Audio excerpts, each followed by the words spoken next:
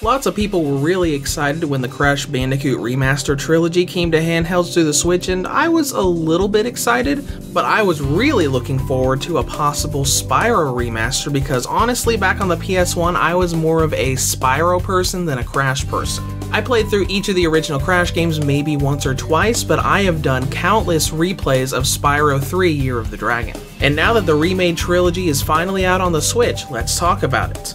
Here is my review of Spyro Reignited Trilogy for the Nintendo Switch. The story of these games centers around Spyro, a small dragon that lives with the rest of them in their own little world of the dragons. In each of the games, a villain appears to either turn the dragons into stone, steal dragon eggs, or otherwise cause a crisis that only Spyro can go out and fix. The story of these games are so entertaining because of how witty and comedic Spyro is as he interacts with pretty much everyone, especially since they brought back the original voice actor who did Spyro in Spyros 2 and 3 to re-record all three games for this collection. When it comes to gameplay, just like the original trilogy, this is a collection of 3D platforming collectathon games. And speaking of those PS1 games, this is pretty much a 1-1 remake of all three of those original games. Spyro the Dragon, Spyro 2 Ripto's Rage, and Spyro 3 Year of the Dragon. As such, you're pretty much going to get the exact same experience that you got on the PS1 for better or for worse. Despite having new control schemes to help you better control it, this collection is nostalgic to a fault, proving that it's still got a very awkward and frustrating to move camera. Progression in this collection is right in tune with what you'd expect from a collectathon game. After all, Spyro was one of the original 3D collectathon games alongside Banjo-Kazooie, Mario 64, and Crash Bandicoot. As such, every game has different worlds that you can explore for collectible items in the form of gems that you can use as currency, and whatever that game's main task is, like finding the dragons in Spyro 1 or dragon eggs in Spyro 3. It's a pretty simple formula with you finding all of these collectibles by jumping and gliding around platforms, fighting enemies with ram and breath attacks, and all around just solving puzzles and finding where you need to go.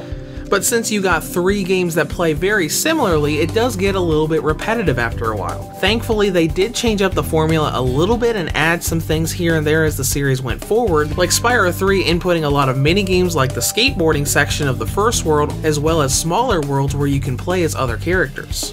Plus, the fact that there are three games here means that you've got a good bit of content to trek through. Each of the games should take you somewhere between 6 and 10 hours to complete, though Spyro 3 is a bit longer, sitting more at the 10 hour range than the 6. This will likely give you at least 25 to 30 hours of content, plenty for the asking price. Before we get to presentation, I want to clarify something about the controls. I'm not going to reiterate all that camera control stuff I already spoke about, I just want to talk about input lag. The Crash Bandicoot trilogy on the Switch suffered from a fair amount of input lag in pretty much all of the games, and I've seen many people talk about input lag for the Spyro collection. Despite these claims, I've played the game on all three models, both in and out of dock, tabletop, and handheld modes, and I've never really experienced any input lag. Now, I'm not saying it's not there, and I'm not calling you a liar if you are saying that there is input lag, it might just be too small for me to notice, and if it is, it's not something many of you really need to worry about. Now that that's out of the way, let's dive into presentation. Graphically, the remaster looks miles ahead of the PlayStation 1 original, and the Switch retains that new graphical quality.